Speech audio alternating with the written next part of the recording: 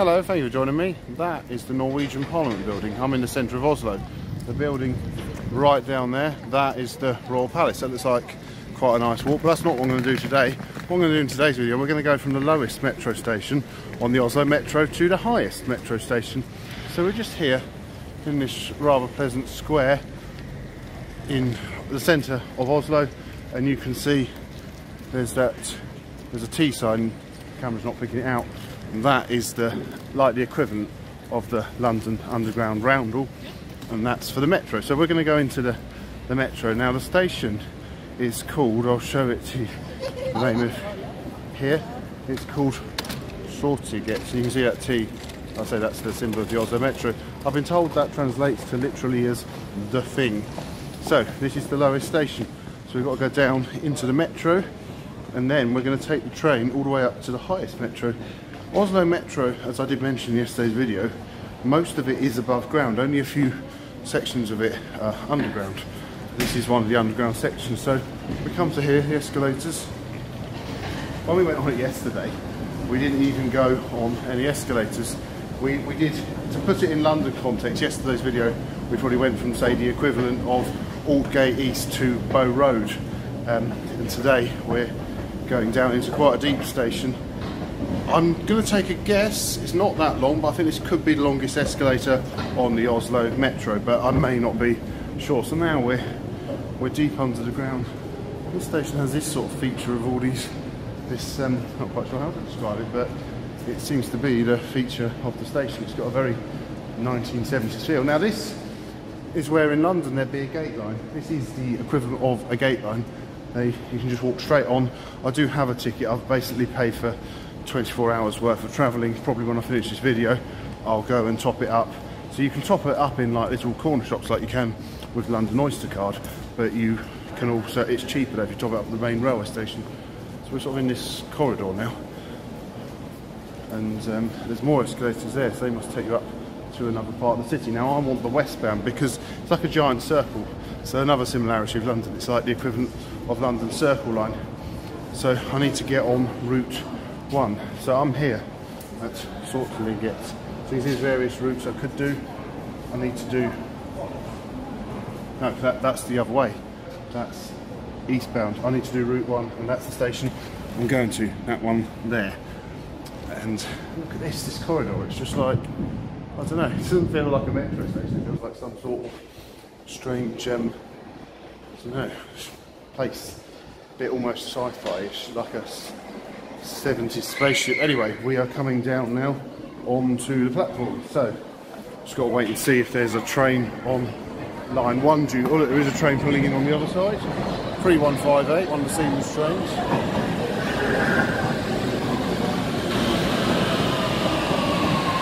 And from looking on the DMI, the dot matrix indicator, I can see there is a train due on Route 1. If you look, this is two units coupled together. They're three car units. So we've got 3358 and 33106. It tells you the one coming in now is going to be a six car If you look on the DMI, it shows, oh, it's, yeah, shows two trains. The one we're going to one. So 33115, and there's 33017. But the train I'm going to travel on will be just one of these units. So I'm going to wait two minutes. This one will go, my one will arrive.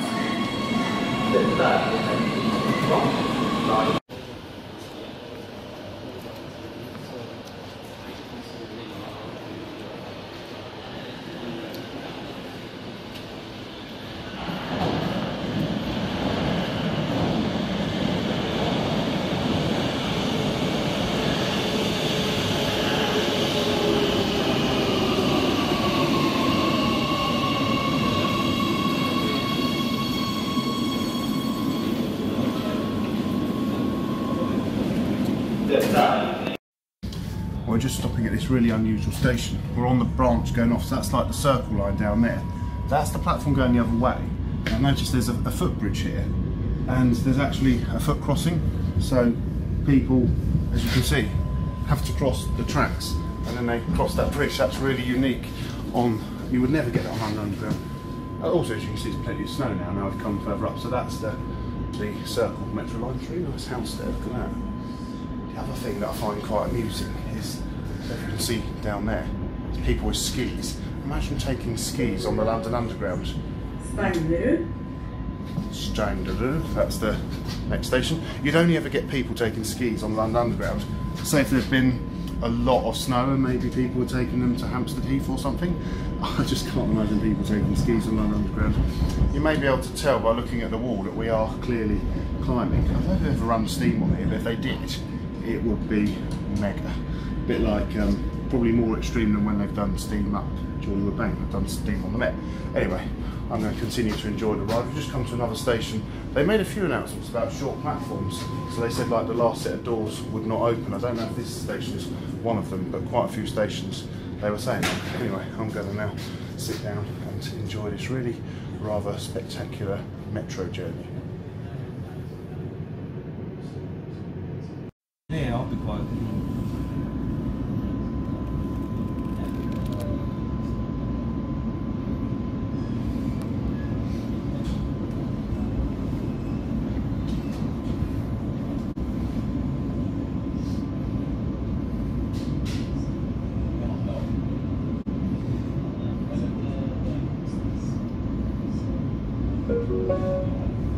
Ris.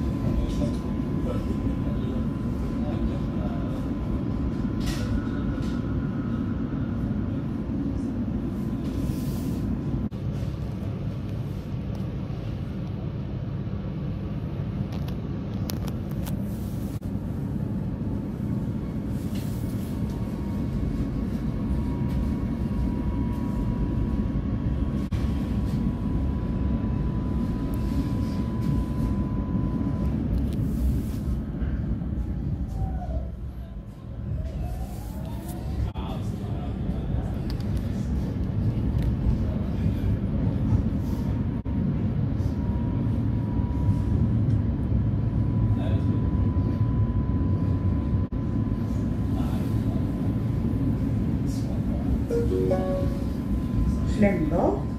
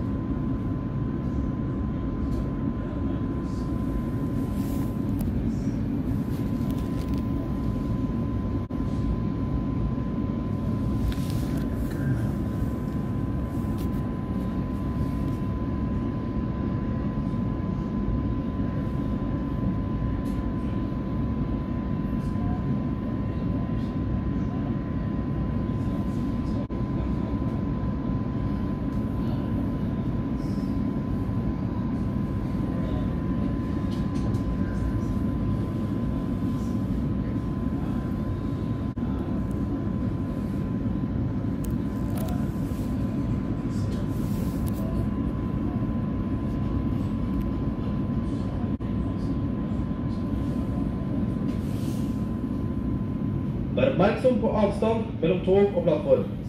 Please mind the gap. Dørene lukkes.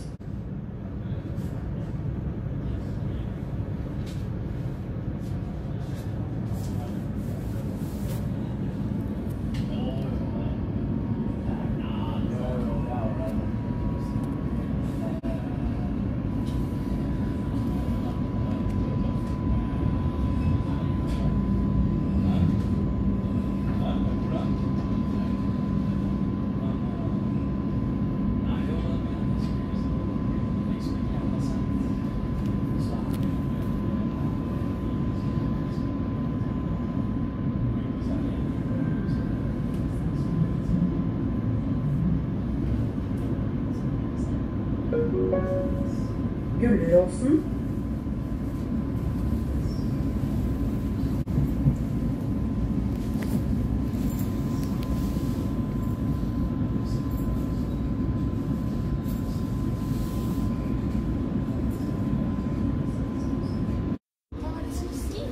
this has to be one of the most spectacular tube journeys or metro journeys I've ever been on. We're just coming now to Holmenkollen station. It's got a short platform, so I've got to walk through the train. So we've really, really climbed up to an altitude. Look, the snow is getting pretty deep. Oh, we're just coming into Holmenkollen now. So this isn't the end of the line. So we've got higher to go, but this is where the famous ski jump is. So that's why I thought we'd get out here at Holmenkollen first and have a look. So this is yeah, quite exciting. Unlike London, where they have one a button just for you to see who the tourists are, I think I've got to go up there. I'm nearly not going to get out. Um, yeah, you have to press the button.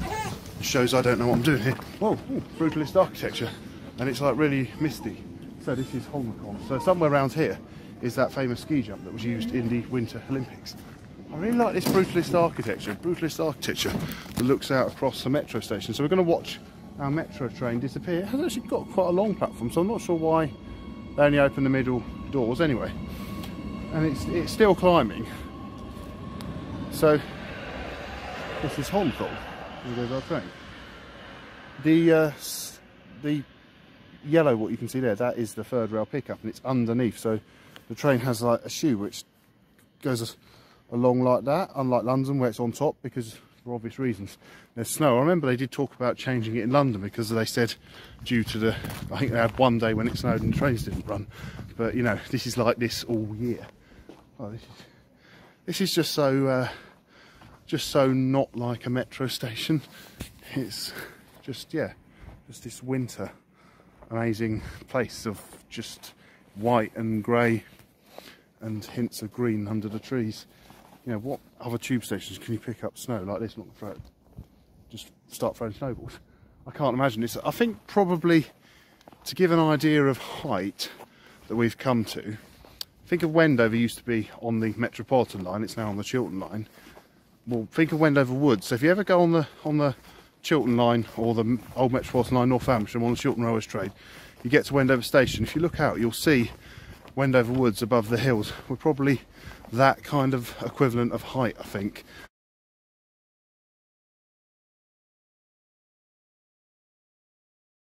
So, but that'd be like the railway being up in Wendover Woods. So we're, we're pretty high.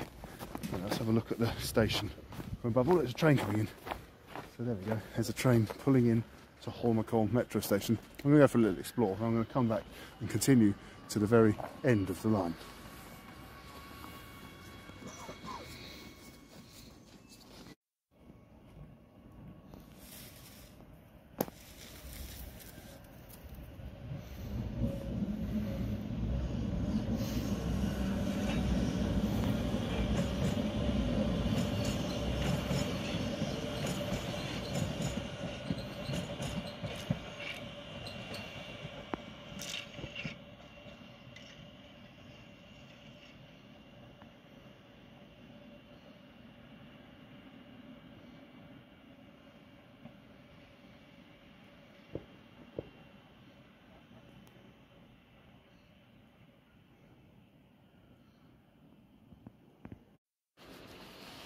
It's all rather spectacular up here, up on these uh, mountain roads in the snow.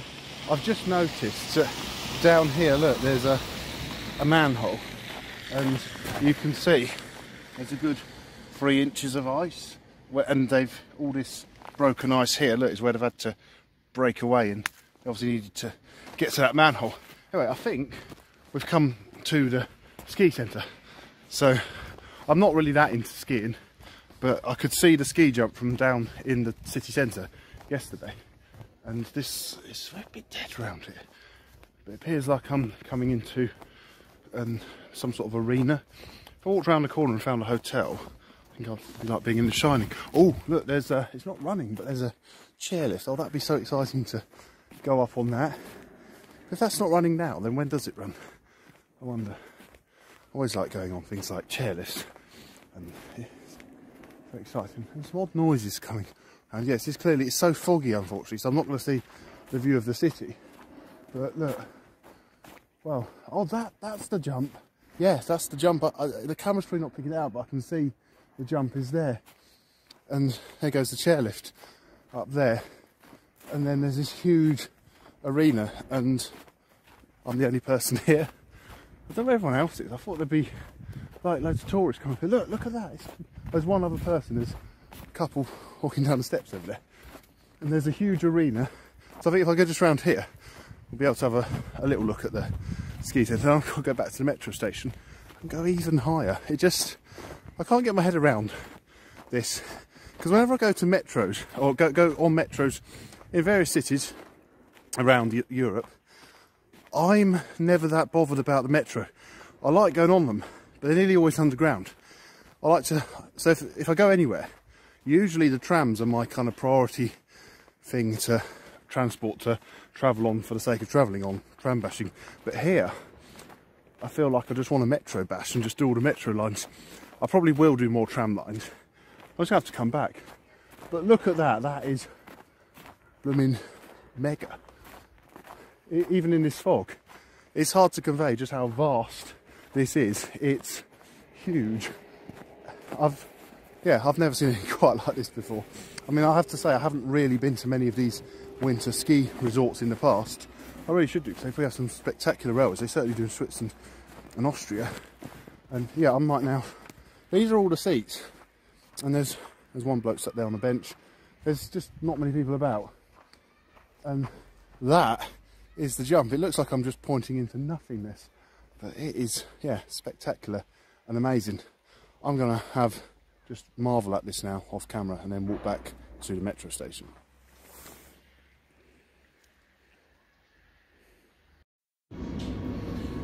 There we are, we're back on the train, just departing Holmenkollen. So it's about three or four more stations to the top. And the platform is, as I said, the most stations on this line on a level. That's the old like station master's house. That building there, I'm not too sure, possibly. The train's taking quite an extreme curve.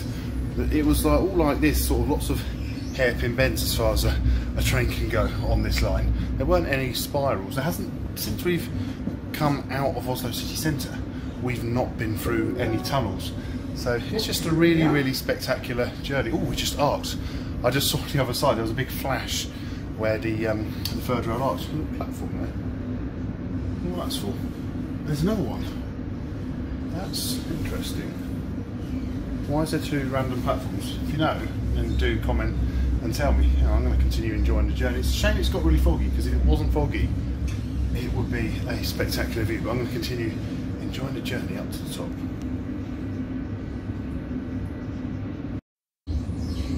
We're just coming in now to the final station on the line.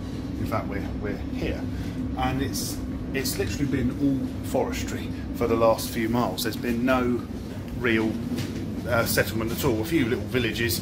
If I can get out, see the platform's really short, so it's not open there. It's quite funny. Everyone's getting off with skis and snowboards. How's this? As we arrive at the highest metro station. Everyone's got skis, snowboards, toboggans. So here we are. This is the highest metro station. Not quite sure how you pronounce it. It's 469 metres above sea level, and the train doesn't quite fit in the platform. Let's go and have a look at the end. There's, it's just, yeah, this is Dørene lukkes, I understand means doors are closing. So this is just like, yeah, the, is it going already? Oh, maybe it goes to a turnback siding. I'm not sure. But here we are, we're at the top of the metro. And oh, there's, a, there's a level crossing in front of us. So what, what's going on? Uh, oh, I see. Yeah, I think the train continues a bit further. It's so strange being at a metro station and people disappearing off on toboggans. You're never going to see that in London or probably many other cities. The other thing is, when we were at Holmenkollen where the ski jump was, it was rather foggy. Have a look now. We are above the fog. We've really, yeah, we've come to the extreme of metros. There's a restaurant down there, lots of walking trails you can do. Let's have a look at the train, and there is the train itself. That is, uh, the driver's going to bring it forward. I'm not sure the driver's going to bring it forward, but um, that's why I'm not crossing. Looking at me. Um, I think, yeah, the driver's saying it's okay to cross. So we can cross the line at the highest metro station, and there's our train. This is so exciting. This is just, yeah, the, um, there he goes. So he's going to the reversing siding now, I think. So number 3342 is the highest metro train I've ever been on. There he goes into the reversing siding. So you've got this little shelter here, which the seats look rather cold on. I'm going to have a look, see if I can find a cafe. I really want to get a coffee at the, at the highest metro station. I'm not sure actually the highest metro station in the world.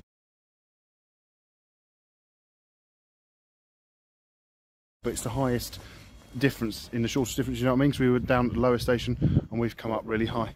There's more people off going off there with skis. It, it's just all, um, it's just not what we're used to in London. So here we are. This is Frognerseteren. As I said, the train went off to the reversing siding. I feel I'm not quite done yet. I want to. Oh, it's coming back. I was just going to say I want to go and see where the actual end of the metro is. So let's just see the train come into the station. Here we are at the highest metro station. We can see the train arrive. So that's the same one we were on. I just want to see what's around the corner really, and um, see what there is at the highest metro station. Like, where does the train go? Can't go far, but there's clearly a reversing siding just round the corner. I just can't get over watching everyone get off a metro train on skis. It just seems so, just not what we're used to. Look at this. It's just like um, amazing. It's. I've been to places a bit like this in the past, but not so close to a city centre. Like usually, you'd sort of go somewhere, you'd have to travel on a train an hour. The fact that we've got here so quickly it's on possibly one of the most spectacular rides I've ever done on a metro train. There's those platforms there. Those platforms we saw, that must be what they're for, for drivers to get out. So perhaps at other stations they sometimes turn trains back. I'm not sure how far I should go up here. Um, I think the snow's starting to melt, all the snow is coming off the trees. But that siding must go just behind those trees there. It's, yeah, mad. So just snow everywhere. And um, yeah, the metro line continues. So there's not really a lot else to do. I can't see anywhere to get a coffee. There probably is, but I just haven't found it. Unless there's something around the corner. I feel like I'm just going off now for a walk in the countryside. And as much as I'd like to, I don't feel now's the time. I just want to have a look in here um, and have a look, see if I can see Oh, I'm just like slipping into the snow and see if I can find the end of. Ooh, well, the snow's really deep here. It's in a drift. That's got to be the end of the line, just round the corner. I'm not going to go any further. So I hope you enjoyed this video. Thank you very much for watching. Please, this, sorry, this is hard to get out of it. Please do feel free to like, subscribe and comment. And from the end of the metro line in Oslo, goodbye.